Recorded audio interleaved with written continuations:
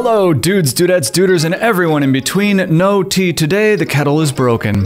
Today we're going to look at the basics of setting up a DJI Ronin S. This tutorial will include building out the gear, balancing a camera, connecting to the app, and tearing the equipment down. For this tutorial, we'll be using two cameras, the Canon 5D and the Sony ZV-1. If you're shooting on the Blackmagic Pocket Cinema camera series, we have a separate balancing video just for you, link somewhere, I guess. The first step in using a Ronin S is putting the pieces together. When you open the case, you'll find everything you need. The tripod adapter, the battery, the gimbal, and a quick release plate. I build from the bottom up, so that means connecting the tripod tripod to the battery, the battery to the gimbal, and then the gimbal to the plate. As you attach the gimbal, be sure to lock it in place with this little arm. It's not the firmest locking device in camera mount history, so be sure to double check that it's secure. With the gimbal built, you're ready to put the camera on the quick release plate and the plate on the gimbal. The goal here is to get the camera light and the center of gravity low. That's why I remove accessories like cages, external microphones, and camera straps. 90% of my gimbal shoots are MOS anyway, so a body and lens are usually enough to get the job done. To keep the weight low, I tend to shoot on prime lenses. Today I've got a 28mm m4.2 lens on the 5D body. I also prefer to shoot all manual when I'm not on Sony cameras, so cheap as chips vintage lenses will work just fine for our purposes. Sony's autofocus is so responsive that I don't really shy away from it, on the gimbal or off, but Blackmagics and Canons aren't nearly as reliable. Now we get to the balancing act. When balancing a Ronin, I start at the camera and work my way back to the gimbal. This means starting by locking the quick release plate and following the arms back motor by motor. For the quick release plate, get the camera to a place where it doesn't tip forwards or backwards when you let it go, and then lock it off. Once you have it locked off, slide it left and right until it feels comfortable. You likely won't be able to get it perfectly balanced, but you'll get a sense if it's tipping to the left or to the right too aggressively. Now we want to raise the camera up until the lens is aligned with the first motor. Once you have it aligned, let it swing unfettered by your mealy grasp to see if you need to adjust the release plate.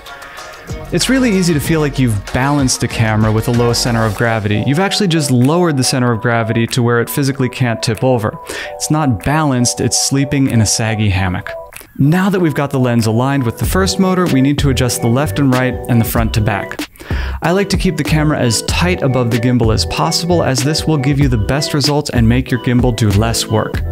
Moving forward through the chain of motors may require that you go back and fine tune previous balances. That's okay. You really want to pin down the balance, and there's a reason for this. Careful balancing will save you battery life. If you balance correctly, gravity will do the heavy lifting when it comes to correcting the camera. If you balance incorrectly, the motors will constantly be working against the pull of gravity, reducing steadiness and draining the battery quicker. It's one of those things where five extra minutes at the top of a shoot can buy you another hour of operation towards the end of the day in the form of longer battery life. That's time well spent if you ask me. If you're happy with the balance, you can power up the gimbal and start using it. As with most things in this modern world of ours, you'll need an app to access the higher functionality of the device. Let's get into that. The Ronin S is compatible with the DJI Ronin app. The devices pair easily enough, but you may need a password if it's your first time connecting. Ours is set to the factory default, which is 1, 2, 3, 4, 5, 6, 7, 8. I know, I know, that's the kind of thing an idiot would have on his luggage, but here we are regardless. Once connected, tap on motor parameters and tap auto tune. You can also auto tune by holding the trigger and M button simultaneously for 4 seconds. This will cause the gimbal to shimmy and shake as it tries to figure out how heavy the load is and how stiff the motors should be to accommodate. Fully auto-tuned, the gimbal is now ready to shoot. Go, make something beautiful, unless you're using a smaller camera. Smaller cameras are a bit different, so let's swap out the 5D for a ZV-1. The gimbal was built assuming that there would be a bit of a payload. DJI has other models that are more designed for GoPros and mobile phones, and this one is a step up from there. When you use an ultralight camera on this gimbal, it doesn't always respond as you'd expect. The first trick is balancing. Depending on the weight of the camera, it simply might not be heavy enough to outweigh the gimbal motor.